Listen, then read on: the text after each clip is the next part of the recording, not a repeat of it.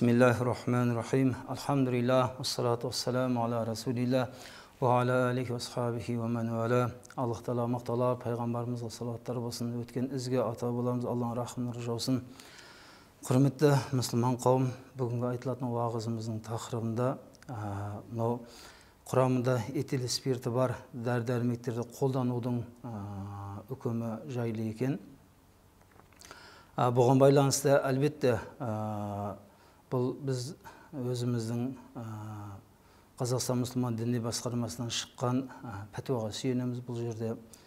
Өйткені әрбір имам әрбір адам өз жеке ойын пәтуа жасай алмайды.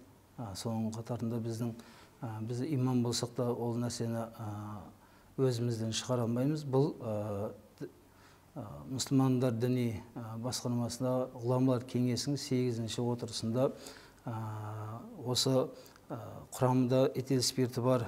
Дәрі дәрмектерді пайдаланудың үкімі жайлы пәтуа шыққан еді. Сол пәтуаға сүйеніп иншалла уағызымызды айтамыз. Ол пәтуада былай деп келтіріледі. Кез келген нәжіс харам болғаныменен харам нәрсенің бәрі нәжіс емес.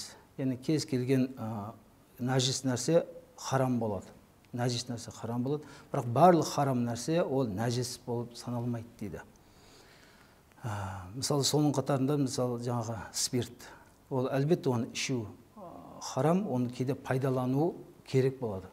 Мысалы адамды ота жасалғанда екпе укол салатын кездерінде сыртына себет кейбір ыдыстарды заттарды жуу мәселесіне келген кезде де жаңағы спиртпенен жуғаны тазартқан болып саналады екен. Енді әлбетте адам емдеу бұл рұқсат екен деп әрбір нәрседе ол спирт, спирті бар дәрі дәрмек қолдану деген сөз емес оны алғаш қараймыз. Ол егер оның балама басқа да дәрі дәрмек орнын баса алатын дәрі дәрмектер болатын болса сол дәрі дәрмектерді қолданамыз пайдаланамыз.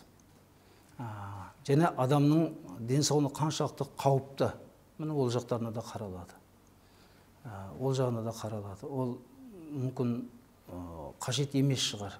Оны әлбетте оның маманы айтады маманы шешеді. Сол дәрігерлер білікті білікті мамандар бірнеше мамандармен ақылдасқан халде солардың нұсқау жорамалдарына да қаралады екен. Шындығында да алла тағала мына құранда айтқандай кімде кім адамдардан біреуді құтқарса ол бүкіл адамзат құтқарғандай кімде кім бір адамның өліміне себепкер болса яғни өлтірсе ол бүкіл адамзатты өлтіргендей деген аят келеді. Демек адамның өміріне қауіп төніп тұратын кезде оны жаңағы этил спирті бар дәрі дәрмекпенен емдеу ол қажет болып қалады екен. Егер оның одан басқа дәрі дәрмек болмаса одан басқа жол болмай тұрса демек оны пайдалануға болады екен.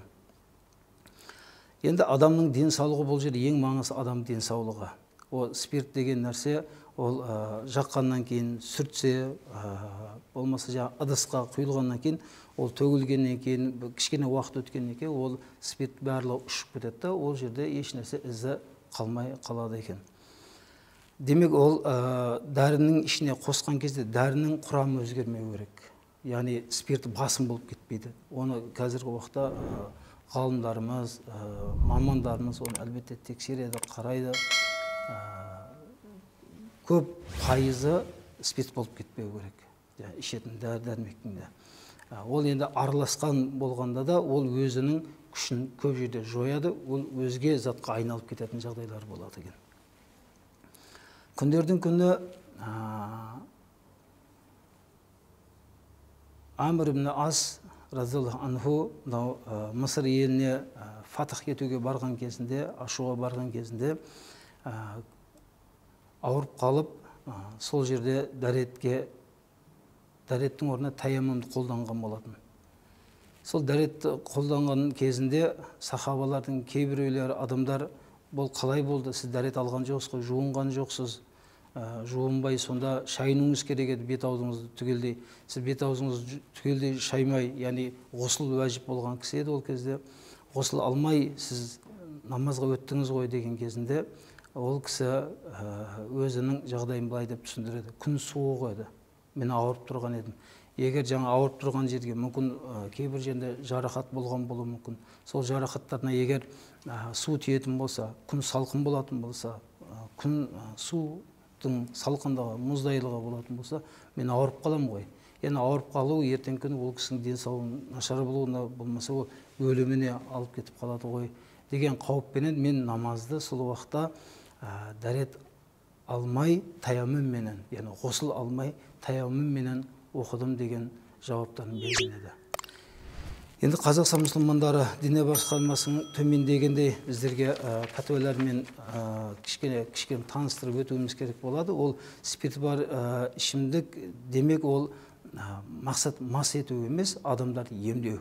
Тек қана адамдарды емдеу пайдасы тию. Сол мәселеде біз негізі мамандардан имам молдалардан оның арасында одан кейін барып негізгі мынау медицина мамандарыменен дәрігерлермен ақылдасып сол кісілерден кеңес алып отырғанымыз дұрыс болады екен.